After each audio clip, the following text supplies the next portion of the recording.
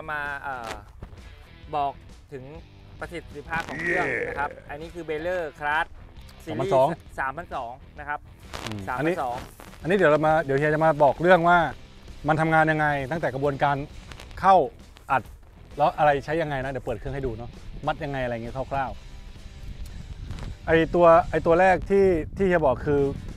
ไอตัวพอเราใบอ้อยอะครับ มันมาอยู่นี้แล้วก็ตัวหนวดกุ้งนี่ก็จะเกี่ยว เข้าไปใช่ไหมใช่ครับพอมันเกี่ยวไปไอตัวเนี้ยครับไอตัวตัวไอตบไอตัวตบคือตัวไหนเฮียตัวชี้หนี้น่อยนะครับนี่ตัวตบ ตัวตบมาดูอ่าใกล้ๆเลยตบใกล้ๆเลยตบตบเข้าใบอ้อยเข้าหรือฟางเข้าเข้าไปในนี้อ่านะครับอ่าแล้วไอตัวนั้นคืออะไรเฮียลูกกิ้งลูกกิ้งนี่คือหน้าที่คือทำอะไร อ่าลำเฉเลียดงลำเลียงลำเลียงลำเลียงเข้าไปในเครื่อง ใช่ครับ อ๋ออะแล้วมันอัดตรงไหน คืออัดก็มันจะมีลูกลูกลูกสูบนี่เราเปิดได้ไหมเราลองคำใส่น็อตไว้ดิ เปิดได้เปิดได้ไหมได้ครับ โอ้ยต้องปิดหน่อยนึงอ่าอะโอ้ไม่เป็นไรอะดิเฮียแนะนำเลยครับ ครับ มันจำเรียงมา นี่ยังมีอันเก่าเลยนะตรงนี้ใช่ไหมครับ ครับ แล้วก็นี่ก็ลอยขึ้นไปโอ้โหฝุ่นก็อันนี้ก็คือก็คือตัวแยกแยกใบขึ้นนะครับ ตัวนี้จะเป็นถาดข้างล่างนะครับ คือใบอ้อยมันวัดเอ่อเนี่ยฮะมันจะอยู่ใต้นี้นะครับ แล้วตัวเนี้ยจะแยกใบขึ้นไปที่ลูกสูบ ลูกสูบอ่าเดี๋ยววันหน้าอาจจะต้องเอาคลิปมาให้ดูนะครับที่การทำงาน ไม่เป็นไรไม่เป็นไรอันนี้อัเดี๋นยวนี้ผมคือขึ้นแอนิเมชันให้อ่า ไม่มีอะไร ครับ อันนี้ก็คืออ่าการทำงานคร่าวๆของมันนะครับ และทีนี้เราก็จะมาดู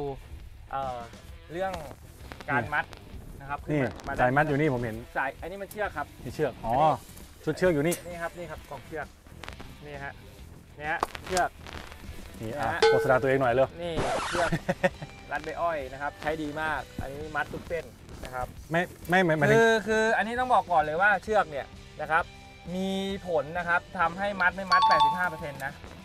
เรื่องเชือกรัดใบอ้อยนะครับเพราะในตอนนี้จริง ๆในท้องตลาดเนี่ยมีเป็น 10 10ยี่ห้ออืมแต่เชือกเนี่ยเกรดเชือกเนี่ยฮะมันมีหลายเกรดอืมบางอันแข็งไปบางอันนิ่มไปนะครับบางทีตัดแล้วเป็นฟู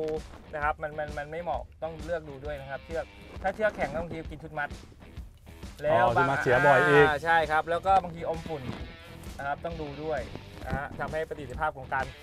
อัดใบอ้อยไม่ดีนะครับเอาต่อมาเฮียมาโอ้มีบันได อ่าอันนี้อันนี้เรื่องเรื่องใบอ้อย เนี่ยฮะเนี่ยฮะอันนี้ถือว่าอัดปอนแน่นนะครับเนี่ยแน่น อันนี้อันนี้อัดปอนแน่นนะครับเนี่ยฮะอันนี้เห็นไหมฮะเนี่ยฮะอันนี้คือต้องบอกสเปคก้อนก่อนนะครับว่าสเปคก้อนเนี่ยนะครับความกว้างคือเมตรยี่สิบคืออม นะครับอันนี้เมตรกว้างเมตรยี่สิบความหนาของเขาคือ 70เซนนะครับความยาวนี่เราจะตั้งได้จะเอา2เมตร10ห รือ2เมตร40 ตามกระบะรถเรานะครับ อันนี้อ่านะครับเท่าไหร่นะ2เมตรสิบอะไรใช่เงี้ยครับเพราะกระบะรถ10ล้อเราเนี่ยมันกว้าง2เมตร40 เพราะว่าเวลาเราเอาเข้าไปเนี่ยเราต้องขวางพอดีเข้าไปนะฮะแต่ถ้าเราเอาไปตั้ง2เมตร40เนี่ยมันเวลาไปดั้มส่งโรงงานเนี่ยมันดั้มไม่ออกนะครับมันยัดไม่เข้าด้วย เพราะฉะนั้นเนี่ย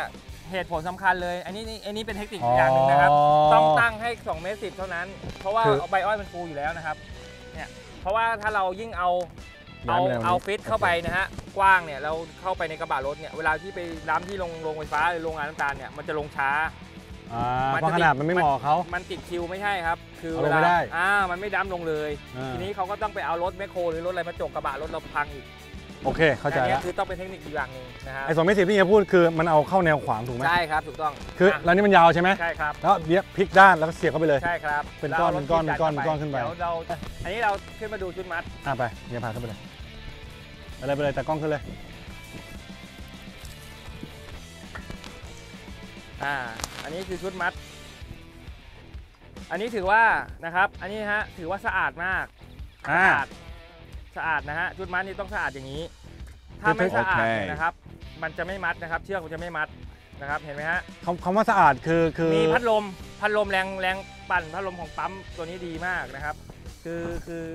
เนี่ยฮะสิ่งสกปรกมันจะไม่ค่อยมีนะครับจานชุดมัดต้องสะอาดนะฮะชุดปั่นแก้วต่างๆนะครับต้องสะอาดไอ้พัดลมอยู่ไหนครับ พัดลมคือพัดลมมอเตอร์ครับตัวนี้เป่าลอยขึ้นมา มันเป่าฝุ่นออกใช่ไหมคือในกรณีที่ไอ้เครื่องซีรีส์สามพันสองอะมันจะมีพัดลมให้มานะครับมีพัดลมให้มาในในในตัวนี้เลยอืมจะมีมอเตอร์พัดลมอยู่ด้านนู้นนะครับอืมนะครับ แล้วก็นะครับ การที่เราจะเอ่อมัด สมมตินะครับชุดมัดมันมี 6 ชุดมัด 1 2 3 4 5 6นะหกครับชุดมัดหกชุดมัดคือเชือกมีหหกกเส้นแถวอืม เชือกหกเส้นอืมนะครับทีนี้เนี่ยเออมีหกอ่าแต่ทีนี้เนี่ยแล้วแต่โรงงานน้ำตาลต่างๆเนี่ยเขาจะเอาระบุว่ากี่เส้น ใช้กี่เส้น ส่วนมากแล้วนะฮะสี่ขึ้นไป เส้นขึ้นไปสี่ขึ้นไป นะครับสี่เส้นขึ้นไป ก้อนมันจะได้แน่นได้สวยเวลาเราเอาไปไม่แตก คีบอ่าลงสต็อกมันจะสวย แต่หัวใจสำคัญนะครับ บอกได้เลยว่าการที่เราจะทำเครื่องอัดใบอ้อยเนี่ยนะฮะ เราจะต้องเน้นมี 3 ข้อ อืม หัวใจของการอัดใบอ้อยมี 3 ข้อ อืม นะครับ ข้อแรกคืออะไร อืม ข้อแรกคือเถ้าแก่เป็นไหม ข้อที่ 2 ลูกน้องเป็นหรือเปล่า อ่า ข้อที่ 3 คือมีพี่เลี้ยงไหมอ่าอ่าพี่เลี้ยงก็คือร้านขาย ขายเครื่องอัดใบอ้อยอ่านะครับ ที่ปรึกษา ใช่ครับอ่ามีมีทีมช่างนะครับ มีอะไร support อืมกับชาวไร่อ้อย อืม อ่า อันนี้คือหัวใจสำคัญ ถ้า 3 ข้อนี้นะครับ ขาดไป 2 ข้อ คุณทำไม่ได้ ผมบอกเลยทำไม่ได้ทำยาก ผมผมผมพอเข้าใจนะเหมือนอารมณ์เหมือนรถเกี่ยวอะครับเราพูดถึงแบบเกษตรกรโดยทั่วไปที่ซื้อรถเกี่ยวครั้งแรกครับเหมือนรถเกี่ยวข้าวอะนะครับ เออถ้าเขาไม่เป็นเลยเนี่ยครับฤดูกาลแรกเขาจะพังมากเลยครับเขาจะแทบจะไม่เหลือเลย เพราะว่าครับซ่อมเข้าบำรุง เดี๋ยวก็ซ่อมครับครับไม่เป็นพังครับ อ่าผมว่าคือพเข้าหัวใจหัวใจหลักๆก็คือต้องมีความรู้ อ่าต้องมีพื้นฐานความรู้บ้างอืม ส่วนหนึ่งนะครับ ถ้าเท่าแก่ไม่เป็นลูกน้องต้องมีส่วนเป็นส่วนช่วยได้เยอะนะครับ อืม ที่จะใฝ่รู้อืมที่จะปรับปรุงว่าเครื่องมันเกิดเหตุแล้วจะทำยังไงนะครับ เราก็จะมีทีมช่าง support อีกส่วนหนึ่งอืมแต่อันนี้นะฮะ safety เห็นไหมฮะอันนี้เขาจะบอกก่อนเลยว่า safety เห็นไหมฮะเครื่องทุกอย่างเนี่ยเวลาดีมากเวลาที่ทำงาน อันนี้ให้ดูนะครับถังน้ำบอกชาวไร่ทุกคนเลยนะครับ ให้ทำ safety ไว้อย่างนี้นะครับ มีถังน้ำแล้วก็ต่อสาย เราไม่รู้หรอกครับว่าเหตุการณ์อ่มันที่เราอัดจะไหม้เนี่ยไหมไฟจะไหม้ไหมจะเกิดเหตุอะไรอ่าอย่างน้อยเราต้อง กันไว้ก่อน อัตตาหิอัตโนนาโถตนเป็นที่พึ่งแห่งโอ้ยตัวไว้ก่อน อ่าใช่ไหมฮะเพราะเราไปมัวแต่เรียกรถดับพงดับเพลิงมาไม่ทันไม่หรทัอกนการนะครับ แล้วก็อีกอย่างหนึ่งคือลูกน้องเราต้องไม่ตกใจไม่ตะลึง เพื่อที่เวลาเผชิญเหตุเนี่ยอ่าจะแยกรถออกจากเครื่องอัดยังไงอ่าไอ้ตัวนี้ค่คือยอๆทำสำคัญด้วยนะครับ อันนี้คือต้องต้องต้องให้ให้ให้เอ่อลูกน้องเรียนรู้ด้วย เพราะว่าอย่างเอาตรงๆครับไม่ว่าจะเป็นฟางข้าวหรือหญ้าหรืออะไรก็ดี พวกนี้มันมีน้ำตาลอยู่ในใบอยู่แล้วครับฉะนั้นมันติดไฟง่าย มันเป็นวัตถุไวไฟอย่างหนึ่งอย่างนั้นก็เออที่จะบอกก็ง่ายกับการใช้งานก็คือต้องทำระบบ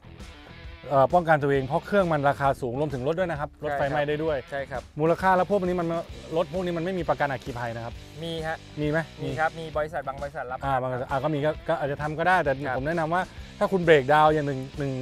รถหรืออะไรเนี่ยเวลามันเสียเนี่ยครับครับ ลองคิดดูว่าแปลงคุณต้องอัดตลอดเวลาแล้วมันไม่ได้เนี่ยมันมันมันเสียหายมากกว่าเดิมใช่ไหมเนี่ยอ่าแล้วทีนี้เราจะมาคุยเรื่องประสิทธิภาพของการอัดอ่าจำนวนลงลงไหมเอ่อต่อวันนะครับอ่าลงไหมเดี๋ยวลงไปเลยครับลงก่อนอ่าครับก็อันนี้เดี๋ยวเราจะมาคุยเรื่องประสิทธิภาพนะครับของการทำงานของเครื่องคลัตช์อ่านะครับสามประสองนะครับตัวนี้ เอ่อคือประสิทธิภาพของการทำงานของเครื่องเนี่ยนะครับต่อไร่ต่อวันนะครับเป็นยังไงอืมอันนี้นะครับถ้าเป็นตัวสามสองเนี่ยประสิทธิภาพสูงสุดเนี่ยทำงานเนี่ยวันหนึ่งประมาณ 180 ตันถึง 200 ตันนะครับแต่องค์ประกอบต้องครบด้วยนะคืออะไรครับองค์ประกอบก็คือแปลงนะครับแปลงนะครับแปลงอ้อยเนี่ยต้องใหญ่พอสมควรอย่างน้อยต้องมี 20ถึง30 ไร่นะครับไม่ใช่วันหนึ่งเนี่ย เราอัดแปลง 5 ไร่ 6 ไร่ แล้วย้ายแปลงบ่อยเนี่ยคือประสิทธิภาพจะไม่สูงสุดนะครับ แล้วก็อีกอย่างหนึ่งนะครับ เครื่องมือที่จะมาเอ่อให้มันสมเหตุสมผลก็คือเราเนี่ยต้องกวาดนะครับ กวาดรวมกองอะไรให้เรียบร้อยก่อนนะครับ แล้วเครื่องอัดตัวนี้ถึงจะมีประสิทธิภาพสูงสุดนะครับ เพราะฉะนั้นเนี่ยการทำงานในไร่นะครับ การอัดฟางเนี่ยคือต้องสัมพันธ์กันนะครับ คนที่กวาดกับคนอัดต้องสัมพันอืธ์มกันอืมทำงานร่วมกันอ่าอัต้องทำงานร่วมกันต้องสัมพันธ์กันประสานกันนะครับเพราะว่าเวลาไปเจอลำอ้อย ในกรณีเจอลำอ้อยเยอะๆเนี่ยก็สมควรจะเก็บออกนะครับเนี่ยอย่างเงี้ยฮะจะให้ดูนะครับนี่ปะอย่างนี้ก็ได้ไหมเฮียนี่ครับนี่ครับ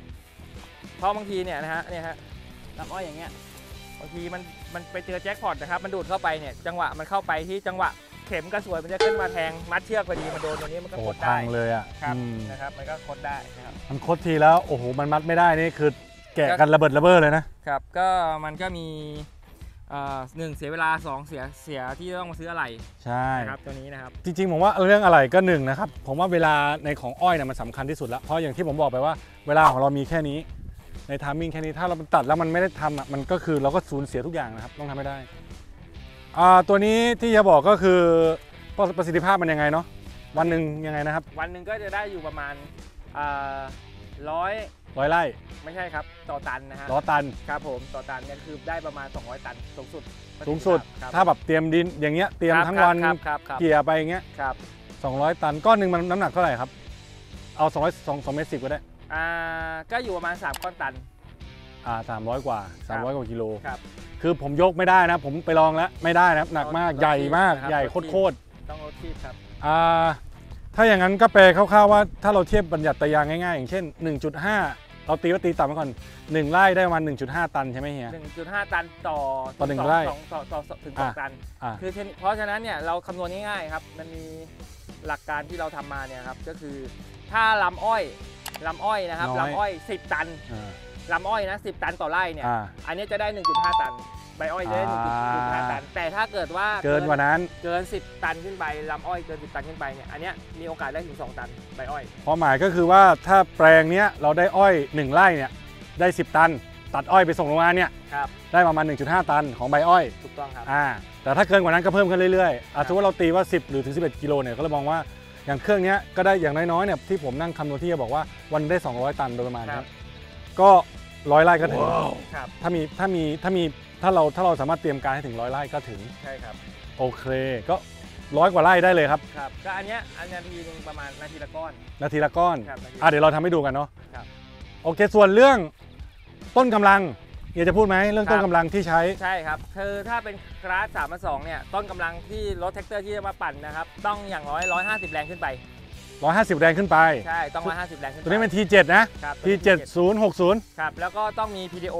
พัพันนรรออบบด้วยนะครับอ่าอั นนี้เคยพูดไปแล้วในคลิป เฮ้ยแต่ผมอยากอยากพาไปดูตัวเครื่องมันจะมีตัวชุดควบคุมครับอยู่ด้านในอันนี้ใช่ครับพาไปดูหน่อยงั้นเดี๋ยวเดี๋ยวผมให้ทีมช่าอ่างทีมช่างนะ ทีมช่างมา อาทิตย์ ช่างทิศครับ ช่างทิศช่างนัดครับ มาด้านนี้หน่อยครับ อ่า มาสอนวิธีการเปิดเปิดหน้าจอนะครับ เปิดหน้าจอเครื่อง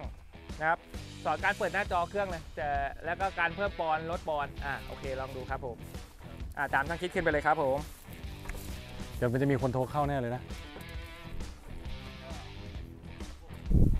เดี๋ยวแป๊บนึงอ่าหน้าจอตั้งแต่เปิดเครื่องเลยทำให้ให้ให้ดูตั้งแต่เปิดเครื่องเลยครับ หน้าจอคลาสสามพันสองตัวนี้ก็จะเป็นปีใหม่ขึ้นมาแล้วครับ ก็จะเป็นจอสีนะครับ ขึ้นมาก็จะเป็นเป็นจอขึ้นมาอย่างเงี้ยเดี๋ยวรอดาวน์โหลดแป๊บนึงอ่า อันนี้ก็จะเป็นหน้าหลัก การทำงานของคลาสนะครับ อันนี้ก็จะบอกเนี่ยครับมันจะมีมันจะมีบอกความยาวของก้อนเนี่ยครับร้อยอันนี้เขาก็จะตั้งไว้ที่ร้อยเก้าสิบห้าครับ เราสามารถเพิ่มได้ลดได้ครับ ตามความต้องการของเราแล้วครับ อันนี้ แล้วก็อีกช่องหนึ่งก็จะเป็น B A R นะครับ จะเป็นบาร์แปลว่าปอนคือความแน่นของก้อนนะครับ เราสามารถตั้งได้ครับ ว่าเราจะเอาแน่นเท่าไหร่แต่อันนี้ก็ตั้งไว้ที่ 35ครับเพราะเพราะว่ารถคันนี้สามารถอัดได้แน่นมากเลยครับ ก็เลยตั้งไว้ที่35ยิ่งเยอะยิ่งดีถูกไหมยิ่งเยอะดีครับ แต่เชือกมันจะรับน้ำหนักไม่ไหวครับมันจะขาดผสมกัน ใช่ครับต้องตั้งให้เหมาะสมต้องดูครับต้องดูหน้างานด้วยครับใบอ้อยแห้ง แห้งก็เพิ่มปอนด์ถ้าเปียกลดปอนด์อ๋อ โอเคครับ ครับหลักๆ หลัก ๆ ก็จะมีประมาณนี้ครับที่เราใช้กันอยู่ทุกวันนี้ครับทั่วไปอ่าง่ายใช่ครับง่ายๆครับ ใช้งานไม่ยากครับตัวนี้ก็ รีวิวครั้งหน้าอาจจะมาสอนวิธีการแก้ปัญหาเบื้องต้นให้กับชาวไร่นะครับเกี่ยวกับเครื่องอัดนะครับ เพื่อที่เพื่อที่จะเพื่อที่จะลดขั้นตอนๆอ่านะครับของช่างนะครับและของชาวไร่ด้วยนะครับ ไว้เดี๋ยวติดตาม EP ต่อไปอะเดี๋ยวเรามาลองอัดกันเลยเนาะครับโอเค ครับ เดี๋ยวลองอัดนะฮะเดี๋ยวให้ดูนะครับ